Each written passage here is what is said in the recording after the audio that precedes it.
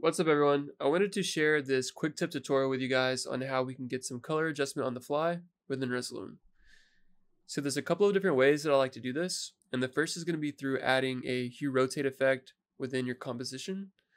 And then the second will be through setting up a layer that's designated specifically for color adjustment.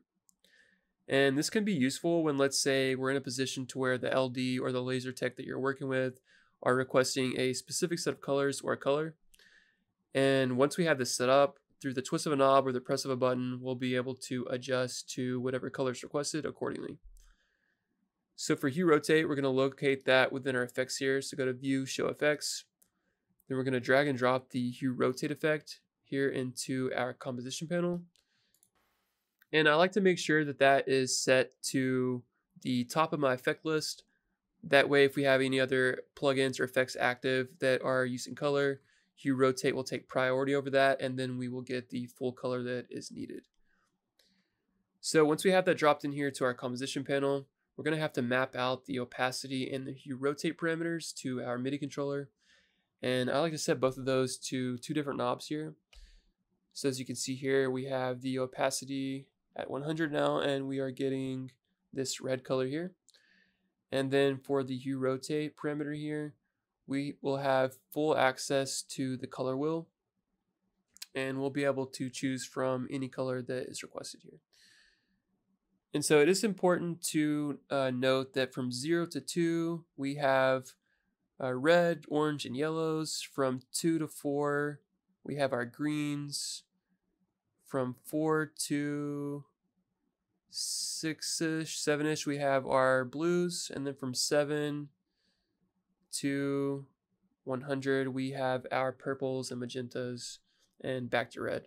So I like to kind of uh, get used to that uh, range here. That way, if we need to adjust something before we put the opacity at 100, it's already set and ready. So you'll get more familiar with that as you use it more. But yeah, that's how I like to have my hue rotate set up within my composition.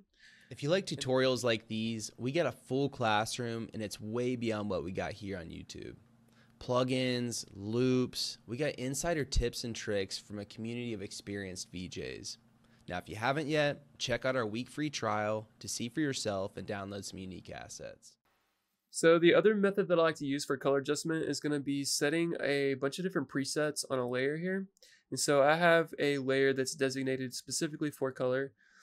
And then I have a bunch of different color presets as you can see here, but I'm primarily using one color plugin for this, and that's going to be the corner color tint plugin.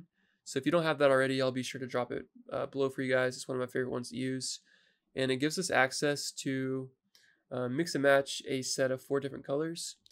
So if I crank up the opacity on this layer, you can see that this one is more of like a water-based preset with a bunch of different blues. I have this one that's RGB themed. I have one that's fire and ice. I have some that are more earthy toned. Uh, another cool thing about this plugin actually is we can take this rotation angle parameter here. We can put a timeline on it and then we get this um, rotation effect that kind of goes through all the four different colors that we set.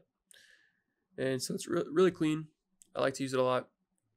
But yeah, again, it's just nice to have a layer set with a bunch of different color presets ready to fire off whenever you need to.